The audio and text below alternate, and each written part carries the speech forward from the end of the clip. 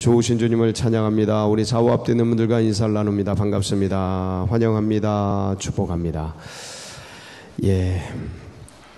또 이렇게 욥기서 같이 나눌 수 있는 귀한 새벽 자리를 열어주신 주님께 감사드리며 어, 이첫 시간을 주님께 올려드리는 여러분들 삶에 하나님의 은혜와 은총이 넘치시기를 축복합니다. 우리 그런 기대를 가지고 38장 우리 22절부터 41절 말씀이죠. 함께 같이 나누도록 하겠습니다. 어, 이제 마지막 종반부입니다. 이 하나님의 당신 스스로가 계시하는 장면이죠. 예. 하나님이 자신을 드러내시는 것을 계시라고 합니다. 그래서 인간은 하나님이 보여주신 만큼 그만큼만 알 수 있습니다. 어, 아이들에게 엄마 아빠의 모습을 보여주는 것만큼 애들이 인식하는 것처럼 인간은 하나님이 보여주시는 것만큼 인식할 수 있습니다. 그걸 넘지를 못해요. 그래서 이 계시는 굉장히 중요한데 어, 이 엘리후가 엘리후가 욥에 대한 막 비판과 정죄를 한 다음에 그 다음에 이제 마지막에 하나님의 계시가 나옵니다. 그래서 이제 총 정리를 하는 겁니다. 세 친구와 욥의 변론 과정을 통해서 그리고 이 얘기를 듣다 듣다 참다 참다 엘리우가 욥에 대한 정죄와 비판을 가하고 드디어 이제 총 정리를 해주시는 거예요. 이 총 정리는 어, 이 총 정리가 시작되는 게 하나님의 계시가 시작되는 게 38장부터 41장까지입니다. 근데 38장 1절을 보면 예, 한번 볼까요? 38장 1절을 보면 이 얘기를 누구에게 하는지 나와 있습니다. 읽어 볼까요? 시작. 그때 여호와께서 폭풍우 가운데서 요백에 말씀하여 이르시 누구에게 말하는 거예요? 예, 요백에 말하는 겁니다. 예, 요백에 말하는데 요백에 말하고 있지만 이것은 새 친구도 듣고 있고 엘리우도 듣고 있고 그리고 모든 세대가 다 듣고 있는 거죠.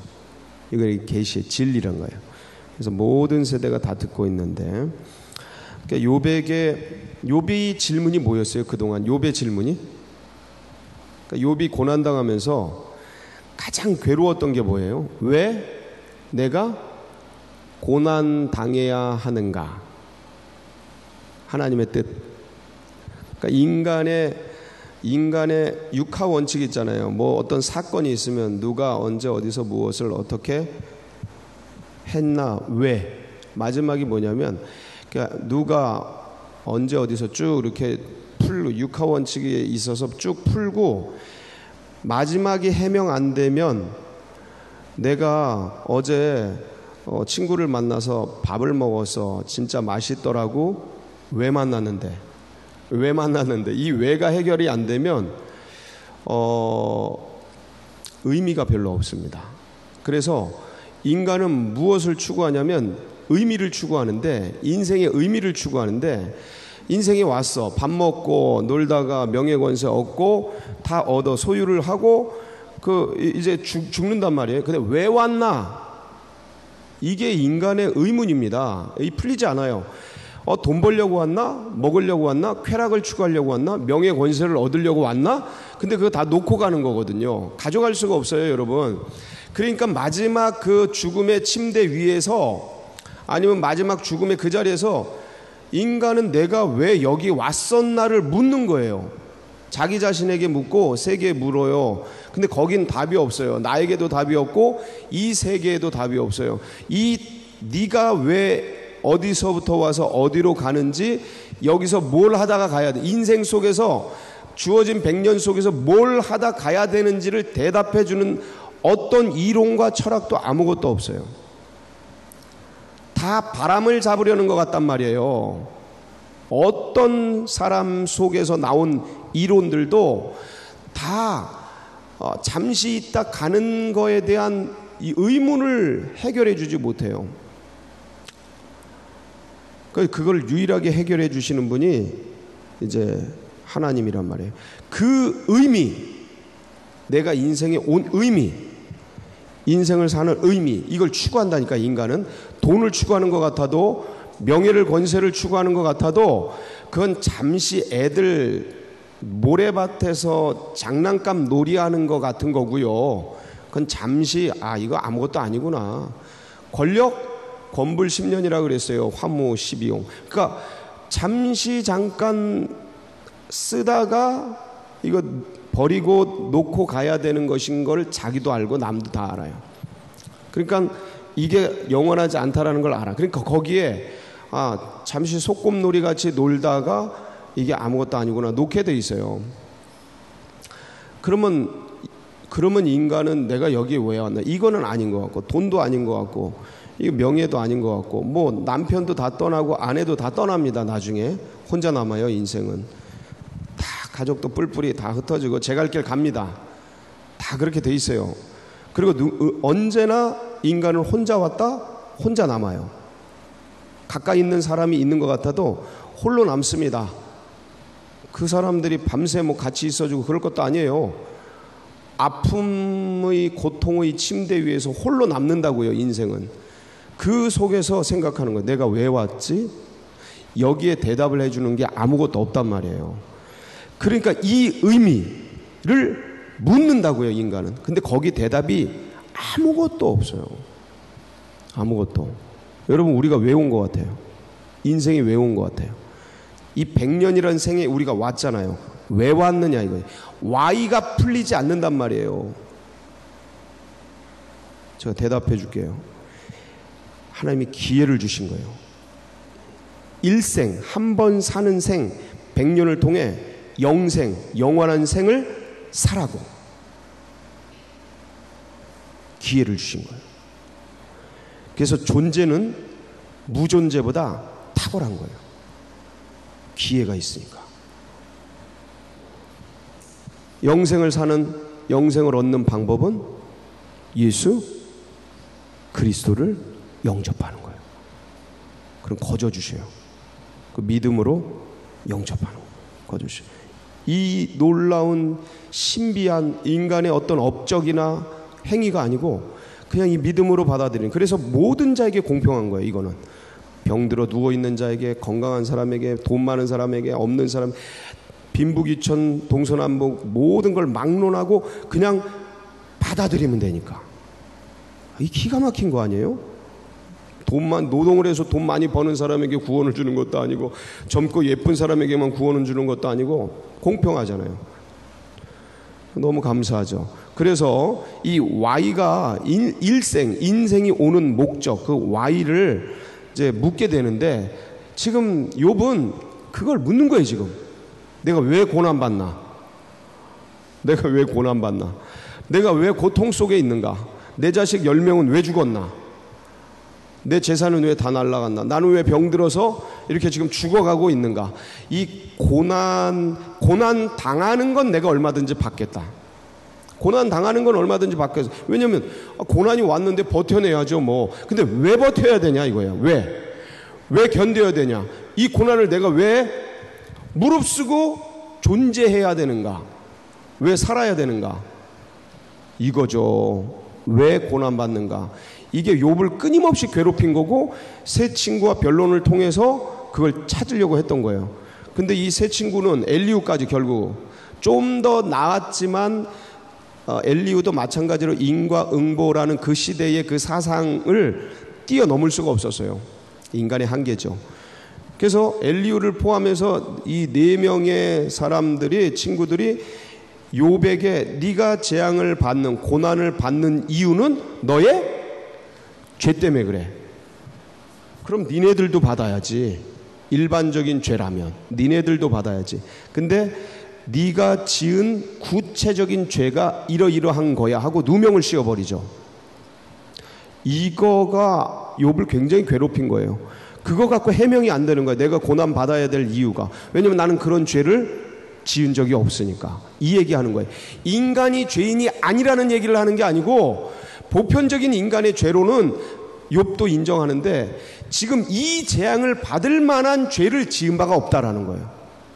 내가 누굴 살인했거나 그러면 이 재앙을 받죠. 누구 도적질했거나 그런 구체적인 죄를 졌다면 내가 그 죄에 대해 해당되는 이 재앙을 이건 대가니까 형벌이니까 마땅히 받아야 되죠. 근데 그런 죄를 진 적이 없단 말이에요. 그러니까 미치는 거죠. 내가 왜 이런 형벌과 재앙을 받아야 되는가? 그런데 그 당시까지는 하나님의 영광을 향한 하나님의 영광을 위한 이 재앙과 고난이 있다라는 걸 상상도 못할 때예요. 상상도 못할 때. 그러니까 예수께서 오셔서 죄를 예수께서 오셔서 재앙을 예수께서 오셔서 고난을 당하셨잖아요. 십자가라는 인류 최악의 형벌을 당하셨잖아요. 왜 당하신 거예요? 인간의 영광을 위해서.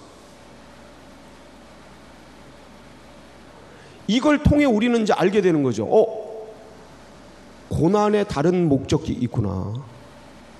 고난에 다른 이유가 있구나. 이걸 아는 거야. 그거를 신약 구약적으로 표현한 방법이 욥기란 말이에요. 근데 이 당시까지는 천벌을 받은 거는 죄 때문에 그래. 인과 응보. 잘 산 건, 아, 그러니까 축복받는 건 잘 살았기 때문에 이런 인과 응보 사상이 가득했단 말이죠. 근데 그 인과 응보 사상을 가지고 이 세 친구와 엘리우가 죽어라고 욥을 공격하니까 욥은 반론하는 거예요, 계속. 야, 니네들이 그렇게 말한다면 세상의 세상을 봐라. 세상의 현실을 봐라. 그렇게 선하게 의롭게 살던 사람들이 저 재앙당하고 고난당하는 모습을 봐라. 엄청나게 많잖아요. 그리고 하나님도 모르고 악인으로 살고 겉모술수를 쓰고 그렇게 저렇게 살아가는 저 죄인들이 저렇게 잘 사는 모습을 봐라. 하고 욥은 끊임없이 의인의 고통과 악인의 형통 이걸 얘기하는 거예요. 의인이 형통하고 악인이 고통받아야 되는데 현실은 의인이 고통당하고 악인이 형통하더라 이거죠. 이걸 계속 반론으로 얘기하는 거예요. 그러니까 해결이 안 돼. 그 엘리우가 그걸 가지고 자신도 해결해 보려고 하지만 뜬구름 잡는 얘기였죠. 그리고 드디어 누가 나타나요? 하나님이 나타난 거예요.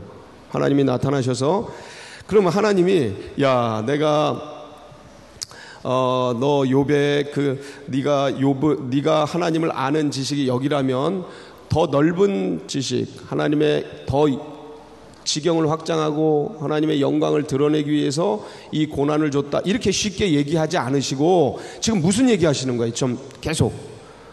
어, 지난주 금요일부터 예, 38장 들어왔죠?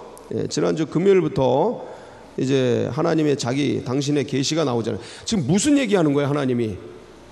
야, 네 이유, 그러니까 하나님의 가르침의 방식은 교훈적이지 않고 좀 더 포괄적이에요. 그러니까 보세요.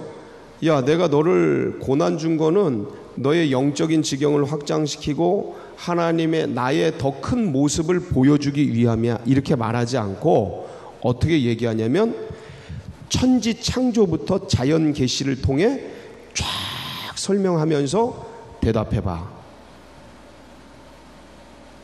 요 방식이에요. 그러니까 무슨 말이에요, 이거는? 욥이 하나님을 많이 안다고 생각했는데 하나님을 알아요, 몰라요? 모르는 거예요. 그거 그거 알려 주려고 그러는 거예요. 그러니까 인간이 하나님을 많이 안다고 생각했는데 하나님을 아는 건 저 바닷가의 해변의 모래알 같은 거예요. 모래알 하나 같은 거. 지난 수천 년간 하나님에 대한 계시를 우리가 받았는데 그거는 저 바닷가의 해변에 모래 하나 같은 만큼의 지식인 거예요. 근데 그것도 구원받기엔 충분해요. 저는 그렇게 생각해요. 우리가 하나님을 아는 것 같은데 하나님을 모른다. 자, 제가 그거에 대한 증거를 보여드릴게요. 인류는 그동안 여기서도 말이에요. 38장 지난 금요일 날 천체에 대한 얘기했죠. 천체에 대한 얘기도 하고 어, 창조에 대한 얘기도 했는데 여기도 천체에 대한 얘기가 나오는데 인류는 그동안 천체에 대해서 궁금증을 가지고 알아왔어요. 오랜 세월 전부터. 그쵸? 예. 뭐 조선시대 천문대를 비롯해서 수많은 그 고대 아르메니아나 뭐 아니면 그, 그 이전에 그 수많은 사람들이 하늘에 대해서 궁금해서 하늘의 별들을 연구해 왔단 말이에요. 그래서 지금은 이제 어, 뭐 전자 현미경, 전자 망원경 여러 가지를 통해서 이제는 저 멀리 있는 것까지 다 볼 수 있게 되었어요. 그래서 그래서 별들의 세계를 연구를 많이 해서 별들을 많이 알게 됐어요. 그러면서 천문학자들이 결론 내린 게 뭐예요? 지구밖에 모르던 우리들이 우주를 알게 됐고 우주를 알면 알수록 뭘 알게 됐어요? 모르는 게 더 많다. 다시 한번. 이게 신비인데요. 고대 사람들은 지구가 네모난 줄 알았어요. 평평한 줄 알았다고요. 네모나고 평평하고. 그래서 가면 떨어지는, 떨어지는 줄 알았어요. 근데 가도 가도 끝이 없는 거죠. 지구를 알면 알수록 모르는 게 더 많은 거예요, 지구가. 근데 지금 이제는 현대인들은 지구를 다 알게 됐어요. 그래서 이제 우주로 나가게 됐어요. 그래서 아 이제 지구 다 알았네. 그러니까 우주 태양계를 알고 은하계를 알고 은하단을 알고 뭐 쫙 안드로메다를 알고 그러면서 우주를 많이 알았다고 생각했는데 우주를 알면 알수록 우주를 모르는 게 더 많다라는 걸 알게 되는 거예요. 거꾸로. 하나님은 우주를 만드신 분이에요. 그러니까 우리가 하나님을 알면 알수록 모르는 게 더 많다라는 걸 인정할 수밖에 없어요. 우리가 십자가를 많이 아는 것 같잖아요. 그동안 신학자들이 파고 파서 많은 어떤 교리와 이론과 그 우리가 묵상을 통해서 우리의 감성을 건드리는 여러 가지 은혜들을 그런 것들을 캐냈잖아요. 십자가라는 광산에 아름다운 보석들을 캐냈단 말이에요. 근데 그, 근데 일생을 통해서 캐내고 캐내고 느끼고 느끼고 감동을 받고 은혜를 받고 하면 할수록 십자가를 모른다라는 것을 고백할 수밖에 없게 돼요. 나중엔 아는 것 같은데 모른다니까요. 예수 그리스도의 성육신 이 사건 아는 것 같은데 점점점 가면 갈수록 마지막에 선 성인들의 고백은 잘 모른다요. 모른다. 이 은혜를 잘 모른다. 주님의 주님이 그러신 분이에요. 하나님이 그러신 분이에요. 알면 알수록 가려지는 분이에요. 우리의 지성으로 이 이성으로 하나님을 알면 캐면 캘수록 너무 무한하니까 모르는 게 더 많다라는 걸 알고 아, 우리가 모르는구나. 이걸 인정할 수밖에 없는 분이 누구라고요? 하나님이시라고요. 근데 하나님을 다 알고 있다고 생각해, 우리가. 그게 욥이란 말이에요. 그 욥에게 지금 계속 말하는, 말씀하시는 거야. 너 이거 아냐? 너 우박이 어디서 오는지 아냐? 눈 곡간이 어딘지 아냐? 너 묘성이 어디서 오는지 아냐? 너 하늘의 법칙을 아냐? 하늘의 궤도를 아냐? 야, 이때 궤도가 나와요. 욥기 족장 시대에 하늘의 궤도를 아냐? 그러면서 계속 얘기해. 그러니까 욥이 모르는 게 너무 많아. 근데 이거 하나님이 다 만드시고 아시는 거란 말이야.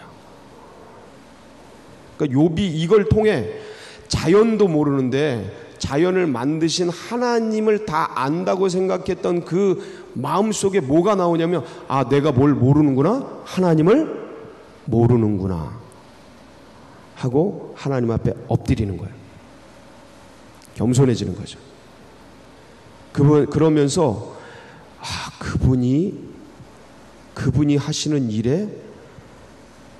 그러니까 이거는 되게 이제 묘한 지점인데 그럼 무조건 알고 따라와라. 이런 막장의 얘기가 아니에요. 그런 어떤 어, 그런 조폭이나 하는 그런 방식의 그러니까 너 모르니까 날 모르니까 내가 하는 일을 네 무조건 따라와. 이런 얘기를 하는 게 아니야 하나님 굉장히 인격적인 신분이거든요. 그런 얘기를 하는 게 아니고 인간에게 여러분 세 살짜리 네 살짜리에게 미적분을 가르쳐 보세요. 미적분. 함수를 가르쳐 보세요. 애들이 아나. 그건 아무리 가르쳐도 알 수 있는 게 아니에요. 어느 때 알게 돼요. 아, 나이가 들면 이해력이 생기면 그때 가면 그 미적분을 그, 그, 그 커리큘럼에 맞게 그 인지, 인지 지능에 맞게끔 그때 가르치면 알게 된다고요. 자라나서 세월이 가서 똑같아요. 영적 지식도 이걸 그냥 알려준다고 아는 게 아니에요. 삼위일체. 여러분 이런 신비를 그냥 애들에게 얘기해주면 압니까? 몰라요. 지금도 몰라요, 우리는.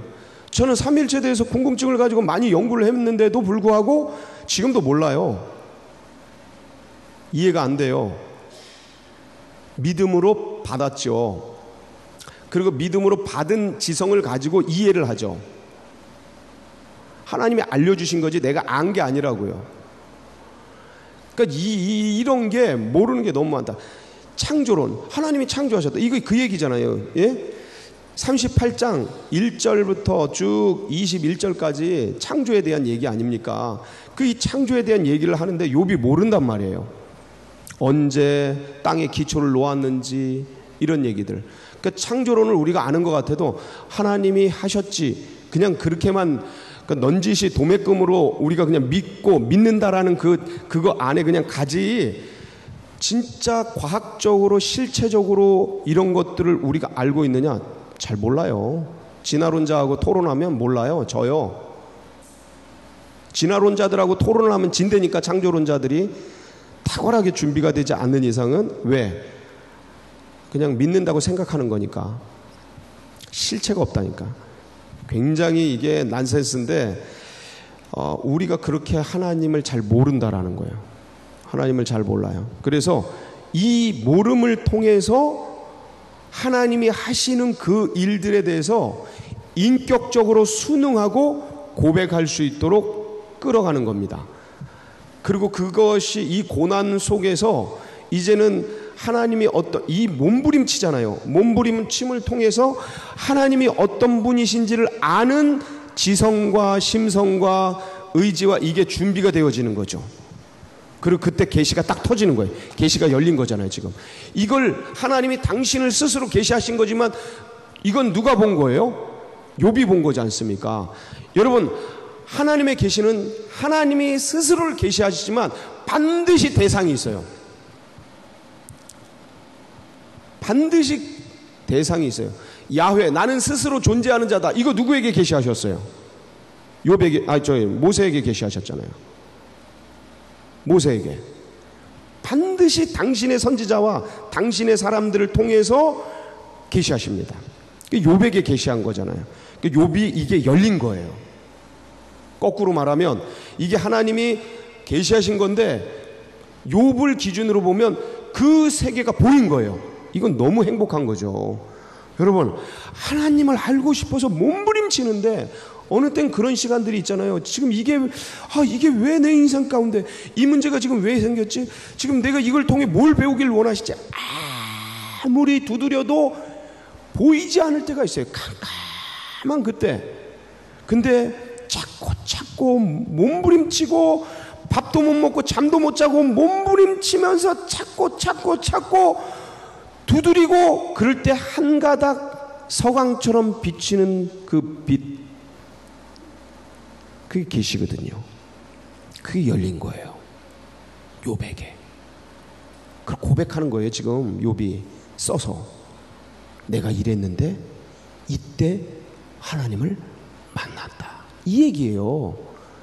하나님이 욥을 야단치는 게 아니고 거꾸로 내가 만난 하나님에 대한 욥의 고백서예요.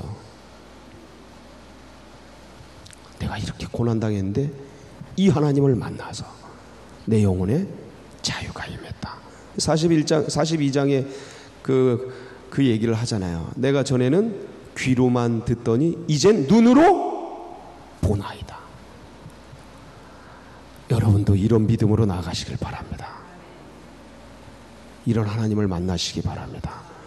그리고 이렇게 영적 지경이 계속해서 세월 속에서 나이 들을 통해서 연륜을 통해서 깊어지고 넓어지고 높아지고 길어지는 은혜가 있길 축복합니다. 같이 기도하시겠습니다.